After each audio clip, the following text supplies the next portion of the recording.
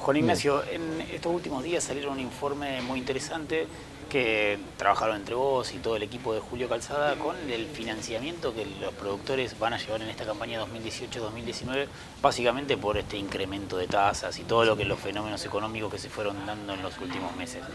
Contanos un poquito las conclusiones que llegaron con este informe.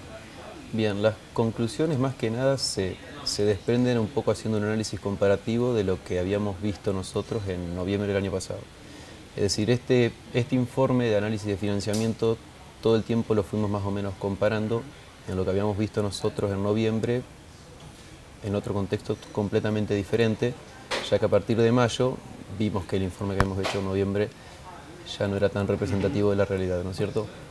Las conclusiones son bastante disímiles a lo que, a lo que habíamos visto, ya sea en tipo de financiamiento, en cantidad de financiamiento y en la naturaleza en la moneda, en la denominación. Es decir, habíamos visto mucho financiamiento en pesos, muchas tarjetas agropecuarias, en un contexto de tasas de interés bajas. Para ponerlo en contexto, ¿cuál era la tasa de interés a la hora del estudio, digamos, de una tarjeta agropecuaria? Bueno, la tasa de interés, que depende de expectativas, estaba a la baja. Estábamos más o menos no en metas de inflación, pero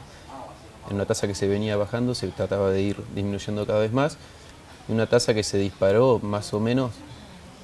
en una cantidad de puntos porcentuales desde la primer, del primer evento, una fecha, si queremos más o menos establecer, sería 23 de abril, ya una primera fecha de movimientos raros, ya a partir de mayo primeras tasas bastante más elevadas y hoy tenemos tasas que vemos como naturales al 60 y pico por ciento, casi 70 por ciento, que no es lo que nadie se imaginaba, al menos no nuestro equipo en marzo de este año con esas tasas el, sector agropecuario no está tomando ese tipo de crédito. ¿Descartó por completo o hay algunas operaciones? Digamos, el crédito agropecuario depende mucho del productor, del tipo de productor, la espalda financiera que el productor tenga, pero las tasas en pesos hoy hacen que el crédito en pesos sea prohibitivo. Es decir, sigue habiendo crédito, no tanto en pesos, las tarjetas agropecuarias las vemos bastante deprimidas respecto del resto de los tipos de crédito,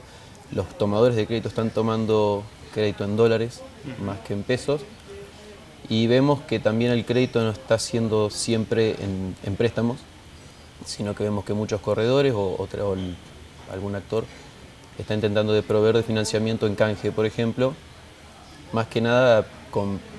una buena mirada sobre la cosecha del año que viene. Claro.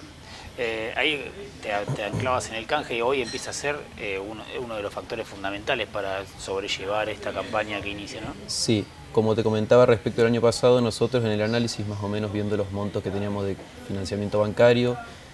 y consultando a actores de lo que se puede llegar a considerar crédito comercial, teníamos una escisión del, monto de crédito tomado por el financiamiento agrícola para la producción puntualmente,